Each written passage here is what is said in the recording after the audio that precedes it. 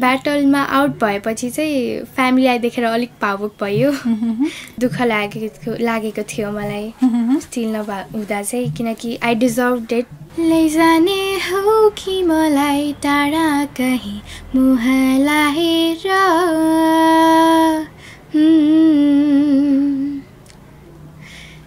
जान मन छैन भने। यस्तोबाट मिल्दैन। हो जस्तो लाग्यो है मलाई। मलाई मिल्दैन त्यस्तोबाट किनकि भगवान्ले त बनाएकै हुन् है तपाईँलाई। एकदमै टाइम लिएर बनाउनु भएको। अह, एकदमै। अह, चिठी भनेको के रहेछ? इङ्ग्लिसमा लेटर भनिन्छ होइन। चौध वर्ष भनेपछि त आउने बेला भएछ माइलोको चिठी खै मायाले भेटिँदैन।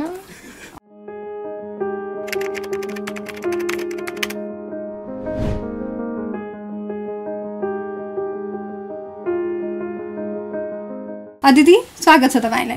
थ्याङ्क यू के छ हालखबर? आराम हुनुहुन्छ? एकदमै आराम छु। ठिकठाक। के गर्दै हुनुहुन्थ्यो यति बेला? यतिखेर मेरो एक्जाम छ पढिरहेको छु। ओके।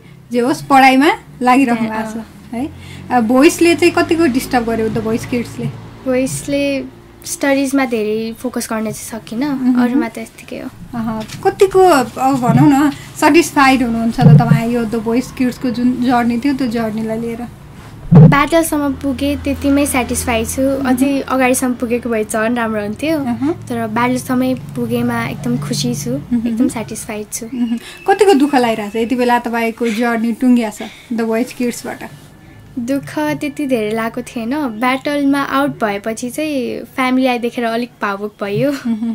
तर पछि चाहिँ केही भएन। ठिकै थिएँ म पछि जे होस् आफूलाई कन्ट्रोल गरिराख्नु भएको थियो। फ्यामिली आइसकेपछि चाहिँ फ्यामिलीसँग भेटिसकेपछि चाहिँ तपाईँ निकै भावुक हुनुभयो। हजुर। के कुराले एकदम भावुक बनायो तपाईँलाई? यति हँसिली मान्छेलाई। स्टेजमा चाहिँ के अरे चुज गर्दा श्रेयसीलाई चुज गर्दा चाहिँ केही भएन। अनि ठ्याक्कै फ्यामिलीलाई हेर्दा चाहिँ रियलाइज भयो कि ए सेटमा आउट भयो भनेर। मम्मीहरू चाहिँ रुनु भएको थियो? म देखेर मात्र रोएको थिएँ कि। ए।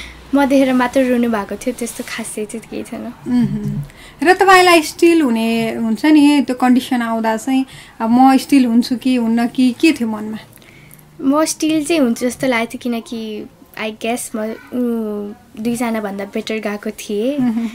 अनि आई गेस म स्टिल हुन्थेँ तर भएन कतिको दुःख लागिरहेछ त अब हुन्छ नि नेक्स्ट अपर्च्युनिटी भनौँ न स्टिल हुने पनि थियो नि त चान्स त्यहाँ पनि तपाईँ हुनु भएन स्टिल नभएर चाहिँ एकदम दुःख लागेको लागेको थियो मलाई। स्टिल नभए हुँदा चाहिँ किनकि आई डिजर्भ डेट। तर पनि केही छैन यति राम्रो गाउने मान्छे के कुराले गर्दा आउट हुनुभयो जस्तो लाग्छ मेबी टाइमिङ गीतमा टाइमिङ नमिलेको हुनसक्छ। मह्म। यस्तै हो। तपाईँलाई लागेको थियो कि थिएन? अब गाइराख्दा हुन्छ नि। आज अब रिजल्ट आउँछ होइन?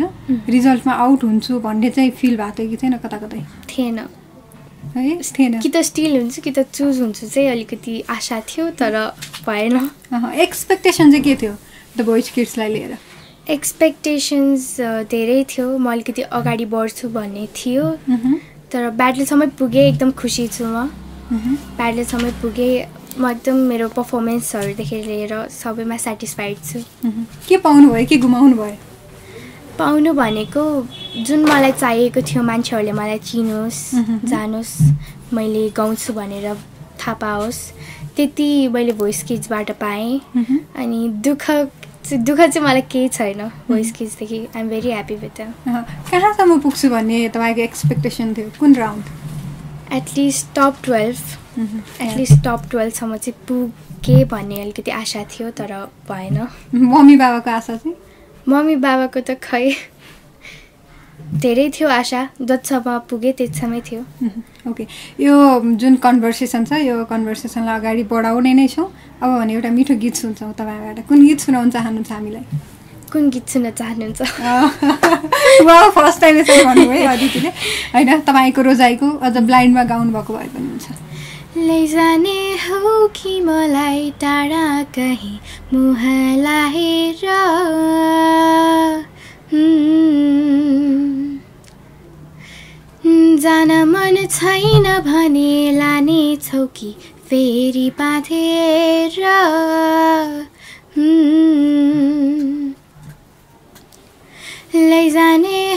कि मलाई टाढा कहीँ मुहा लाएर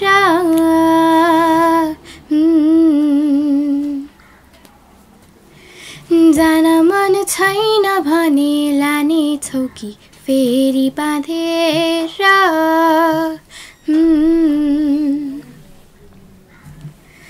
घाम पानी स्यालको बिहे हो कि मनै बेहुली बनेर?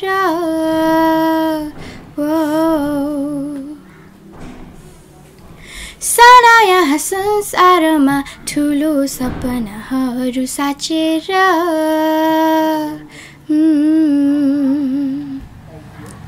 नयाँ नौलो टाढा पारी खुसियाली पाउने हो कि मेरो सपनाहरू पनि उनीलाई सुम्पिने हो कि?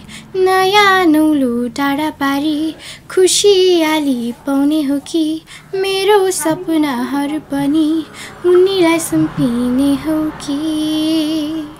वा कति मिठो स्वर। जति सुने पनि सुनिरहँ जस्तो फिल भयो मलाई। किन होला भनिदिनुहोस् न अदिति अब भगवान्ले यस्तो स्वर दिएपछि सुन्नै पर्यो। गड गिफ्टेड है। यस्तो मिठो स्वर बनाउनु के गर्नुपर्दो रहेछ? त्यो यस्तो मिठो स्वर बनाउन के गर्नु पर्दैन तपाईँले के के गर्नुभयो त्यो भनिदिनुहोस् न। मैले।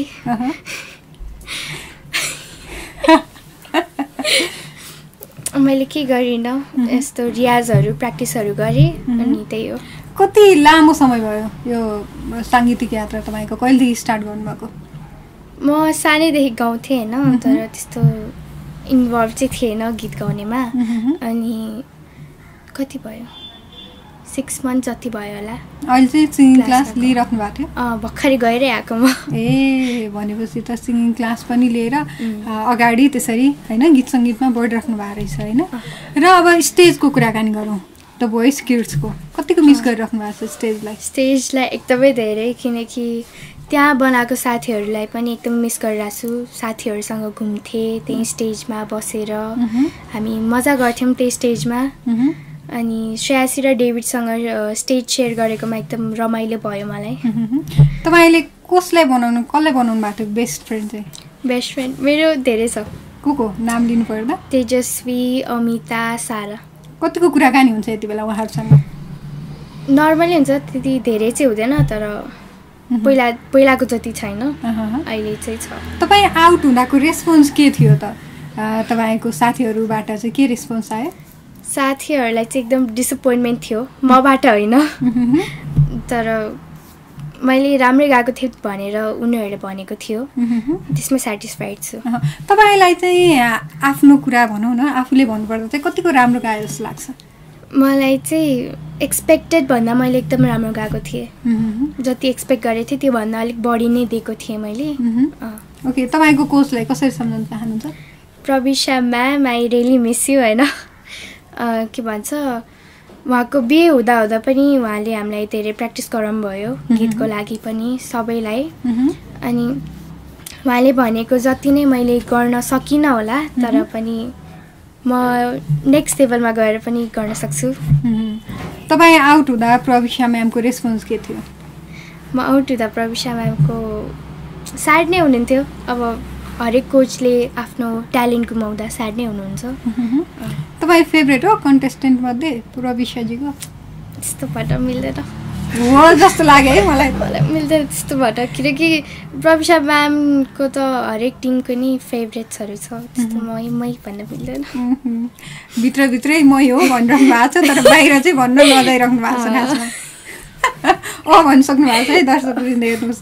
प्रविशाजीको एकदम फेभरेट कन्टेस्टेन्ट हाम्रो अदित्यजी र प्रविशाजीलाई के भन्न चाहनुहुन्छ? मजाको टिभी इन्टरटेन नेपाल जो दर्शक हेर्दै हुनुहुन्छ।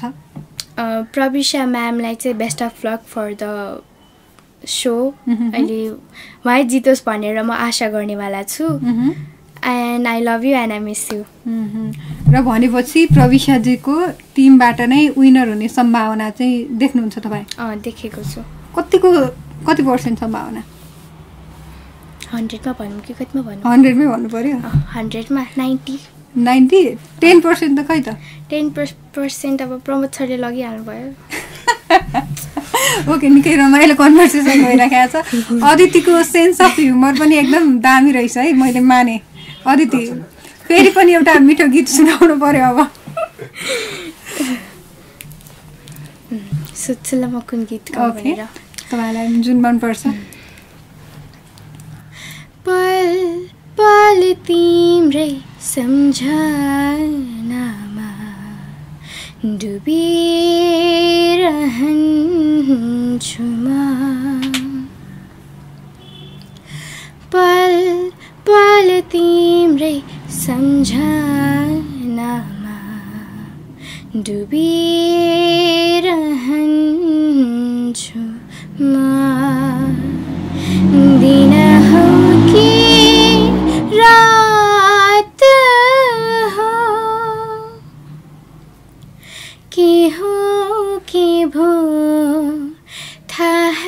हुन्न। दिन हो कि रात हो। वाउ थ्याङ्क यू कति मिठो स्वर। कति धेरै तारिफ गर्नु मन लागेको मलाई तपाईँको स्वरलाई लिएर अदिति। म मान्छे यस्तो अँ। भनेपछि स्वर पनि मिठो मान्छे पनि क्युट राम्री हँसिली है। भगवान्ले त बनाएकै हुन् है तपाईँलाई। एकदमै टाइम लिएर बनाउनु भएको। र बोल्न चाहिँ झनै मिठो बोल्नु रहेछ खासमा तपाईँ म त्यही भएर सबजना फिदा हुनुहुन्छ कि मेरो स्वरले लिएर। के भनिराख्नु भएको छ यति बेला? दर्शकले मेन चाहिँ अब लोकप्रियता तपाईँको एकदम बढिराखेको छ होइन? यति बेला दर्शकले। एकदम अप्रिसिएट गरिराख्नु भएको छ तपाईँको सिङ्गिङलाई होइन? फ्यानको चाहिँ के कस्तो मेसेज आइराखेको छ फ्यानहरूलाई चाहिँ मलाई ब्याटलसम्म सपोर्ट गरिदिएकोमा एकदमै आइएम भेरी थ्याङ्कफुल जसले मलाई सपोर्ट गर्नुभएको छ।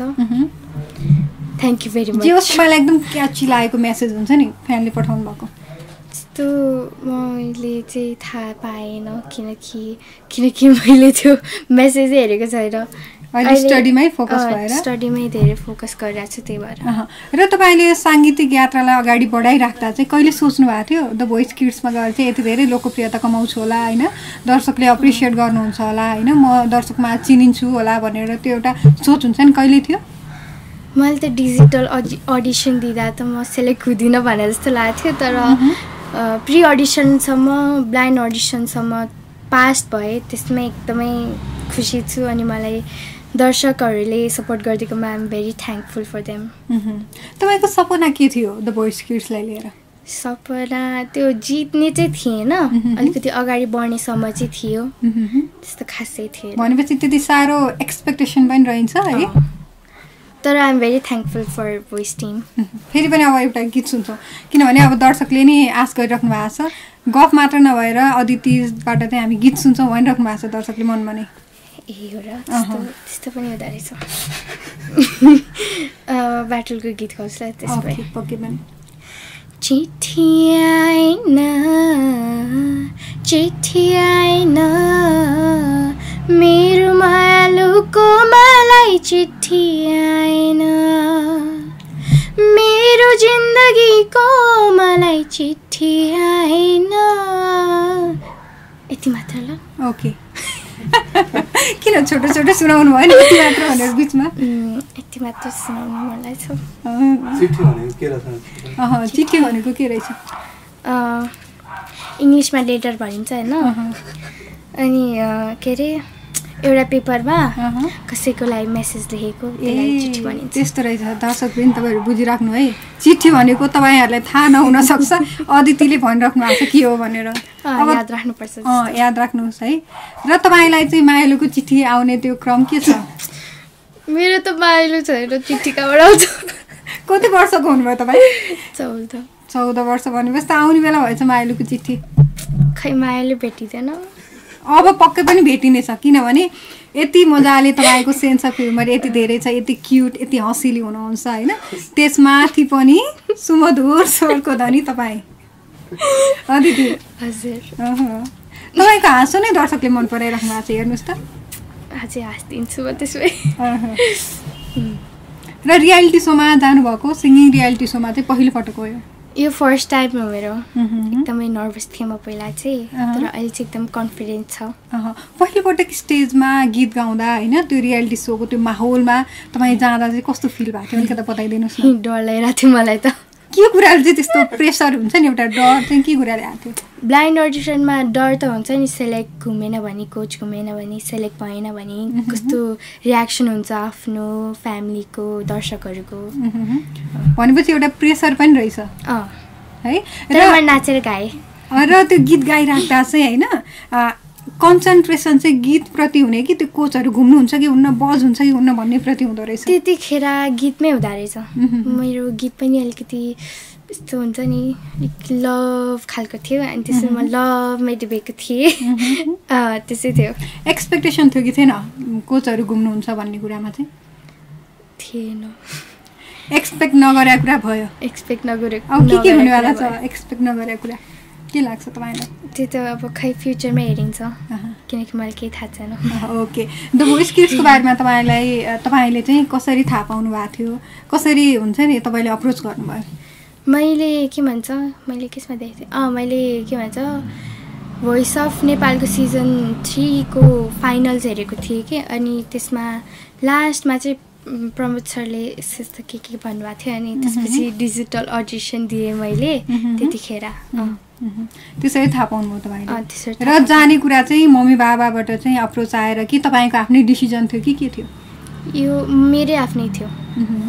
मैले मम्मीलाई सोधेको थिएँ डिजिटल अडिसन दिउँ कि नदिउँ दे न सेलेक्ट भइस् भने भइस् नत्र छोड्दै भन्नुभएको थियो। त अब मम्मीहरू चाहिँ मम्मी बाबा फ्यामिली चाहिँ कतिको खुसी हुनुहुन्छ तपाईँको यो जर्नीलाई लिएर? खुसी त खुसी नै हुनुहुन्छ तर ब्याटलसम्म टुङ्गियोमा एकदम दुःखी हुनुहुन्छ। जो म छुइनँ ओके हामी अन्त्यतिर पनि छौँ। तपाईँसँग चाहिँ गफ गरिराख्दा चाहिँ निकै रमाइलो हुने रहेछ अदिति। मलाई यो अफ स्क्रिन पनि तपाईँसँग धेरै गफ गाफ गर्नु मन छ है। अन्त्यमा छौँ? अन्त्यमा के भन्न चाहन्छ दर्शकलाई जो मजाको टिभी इन्टरटेन नेपाल हेर्दै हुनुहुन्छ? यो च्यानललाई चाहिँ सब्सक्राइब र सेयर गर्ने है त्यहाँ गरेन भने। इन्टरभ्यू आइराखेको छ होइन? गर्नै पर्छ है यो मजाको टिभीलाई सब्सक्राइब र लाइक अनि मेरो भिडियोलाई त सेयर गर्नै पर्छ। अरू केही थप? अरू अरू केही नै। Thank you all of you okay thank you so much thank you